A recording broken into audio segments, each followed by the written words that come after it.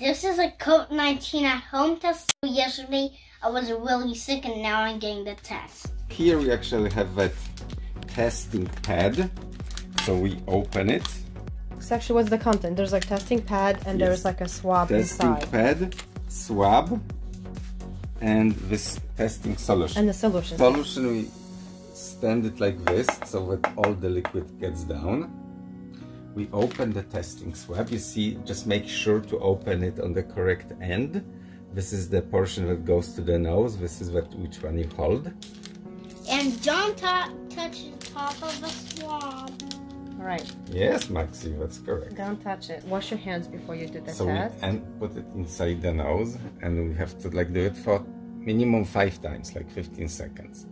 One, two, three, four, Oh, more five, of six, five seven, eight, nine, ten. You have one? One, two, three, Ugh. four, six, seven, eight, nine, ten, eleven, twelve, thirteen, fourteen, fifteen, sixteen, seventeen, eighteen. Maxi, why don't you do it also yourself? Hold it in your hand, put it inside, and circle it around a few times. In the and in the other one. Yeah. A, a little more. Put it a little deeper. A, a little deeper.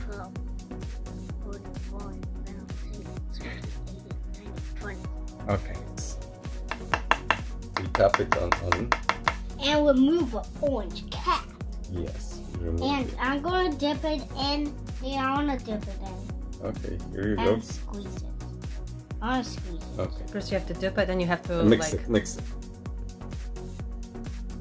at least 15 times. One, two, three, four, five, six, seven, eight, nine, ten, eleven. And then Daddy, Yeah. Daddy needs to shake it too. Hold on, Maxi. I'll, I'll do it. I'll do Okay. it too. One, two, three, four, five, six, seven, eight, nine, ten, eleven, twelve, thirteen, fourteen, fifteen. Say fifteen. Okay. And now I have to squeeze it and pull this up. Okay. So what we do now, we put this on. This will be disposed. And let's put it here. Uh, now we remove the cap that's here. And we put three drops. Maxi, count to three. One, One, two, three. Okay. Now we wait. And we can see that the fluid is transferring from the place where we put the drops, it's transferring to the section where we actually get the results. You see that there are two letters, C and T. C means control, and if we don't see a bar in the C, it means that the test has to be repeated with the new sample and, the bar on the T means positive. If there is no bar, it means negative, but you really have to look at it precisely with the light, the light and magnifying glass.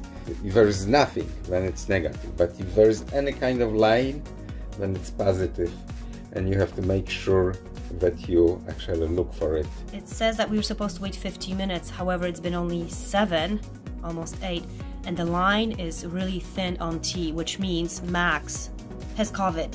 So this is positive test. We're gonna wait another few minutes, we'll see how strong it's gonna be because the thicker the line under T means bigger infection, exposure, More viral.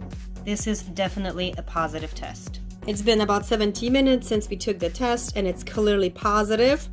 Even though C is thicker, T line is there, which means Max was positive. Just to make things interesting, guys, I took COVID test exactly six minutes ago and mine is the one below and look how T is, how thick it is. So we are both positive, but I was, I guess I was more exposed. If you have any questions, please ask in comments below. Stay safe and thank you for watching.